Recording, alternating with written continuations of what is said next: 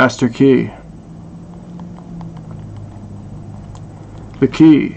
That's all that mattered. Finding it, using it, the damned key. Where was it? Ryder looked at his own reflection in the lake before he broke it with his hands, sending ripples throughout the rest of it.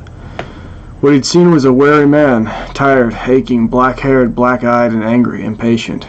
Finding his treasure had become quite the struggle as of late, it had been many years that he had passed on the road, his beard growing long, his hair even longer. He looked unkempt, he looked intimidating, and he looked like he wanted to tear someone apart, though he did not. He simply wanted one thing. The master key. He whispered to himself, shaking the water from his face and beard. I must have it. The master key was something of import, one might muster after listening to this man speak for but a minute. Perhaps even the master key was something that could be discovered, perhaps it could actually existed, but it would appear to the common listener that the man seeking such a key was but a madman. Perhaps even worse than a madman. Perhaps he was a dreamer. This man was such a man. Incessantly unstopping, he searched for the mystical object. He wondered where it might be. He listened to stories of it in dark-lit pubs. He went in search of it after rumors he'd heard from local hearsay. He took the word of fools as gold and truth, and he went every which way in search of it. He had to find it, the master key, but where was it anyhow?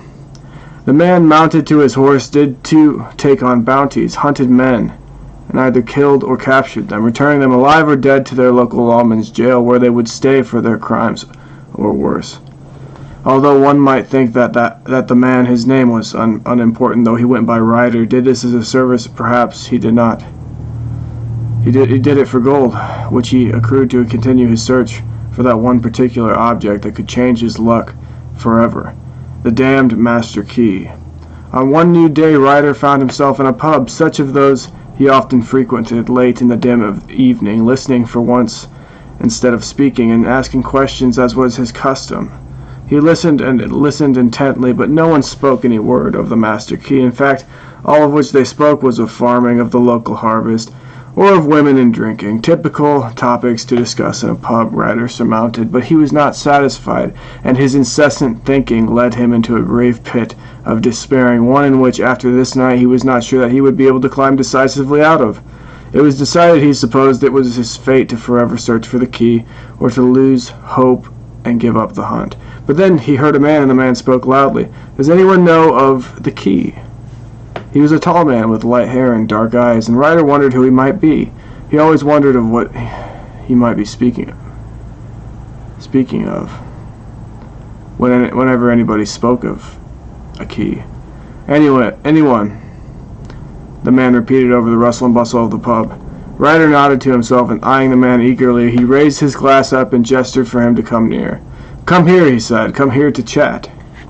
The man with the light hair eyed him warily, as Ryder was a gruff individual, of course, and he was not one to approach lightly. Nonetheless, the man approached, and his achiness and tiredness began to show, and he himself, though not a rough individual, did seem to mirror, at least somewhat, that of Ryder's appearance. He liked that Ryder did, but he often found ways to like people who he would otherwise despise, something he'd picked up from his father, someone who had been a very kind but unambitious man. He had hated his father, but he had loved him and, and pitied him too. He felt a similar way towards this man for some reason, and so he was keen to listen to him speak and to understand his words. I wonder, Ryder said as the man seated himself in an open bar stool next to him, turning to face him, his legs extended and nearly touching Ryder's. I wonder, do you enjoy this fine ale? Ryder raised his glass as if to show what he meant, though it was entirely unnecessary. Enjoy it? said the man, tipping his cup to spill some of it onto the floor, and then taking a drink. I drink it. Ryder laughed at that. You're a clever man, he said, taking a gulp from his own glass. Tell me, sir, what did you mean when you spoke of the key? Oh, said the man as if he were surprised or taken aback.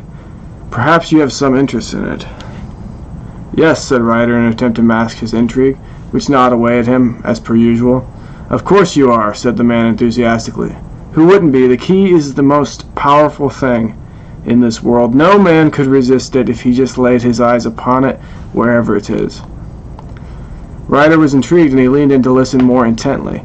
I wonder, he said, do you know anything of such a key? Me, said the man, acting again acting as if he were surprised that Ryder would ask him such a question. Of course.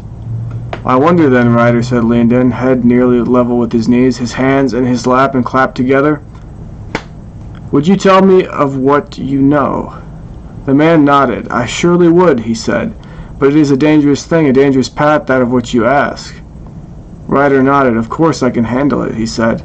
Tell me about it then, would you? I suppose that I will then, he said, nearly purring. I'll tell you where you need to go. Ryder stared at him intently. After a moment the man was telling him the story, the story of the Master Key, a story that Ryder was all too familiar with and far too eager to hear again, especially from such a man, as he had never heard someone tell it so joyfully and so eagerly. Perhaps Ryder thought this man was the man he had searched for, the man who would lead him, point him in the right direction of that object that he so desperately sought. He ended. Ryder eyed him a, a moment and then, acting as if he were entirely disinterested by the story, though it was obvious that he'd been just moments earlier, asked him calmly, What would you have me do then? You've told me nothing of the key's location, if you even know where it is. I don't even know your name, sir. Would you care to tell me?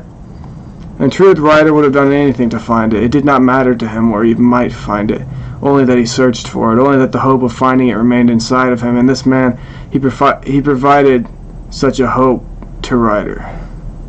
Yet he asked in such a manner anyway. My name is Ronan, said Ronan, and I can show you where this key is, but he said, interrupting himself. This is a dangerous journey. Ryder smirked and gestured towards himself. Do I not look as if I am ready for such a journey? He laughed boisterously. boisterously. Show me where it is. I will get it. Good, said Ronan, but there is a catch. Oh, questioned Ryder, raising an eyebrow. Go on, then. Tell me what it is you want. I want you, said Ronan, a twisted grin on his face, to find the key and then... Ronan paused a moment. Yes? asked Ryder, and then... And then I want you to unlock a chest for me. A chest? asked Ryder, feigning interest. All he thought to go after was the key, as it was the only object that truly interested him. What's in this chest? Ronan shrugged. That is what I'd like to know. He took a sip of his beer. As you know, the key is said to unlock any lock. Of course, said Ryder. Then why the interest in this chest? Ronan shrugged once more. It has some value to me.